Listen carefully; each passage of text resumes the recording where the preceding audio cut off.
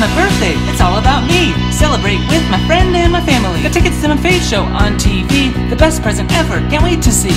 Is it just me, or does our son seem homo? Normal kids say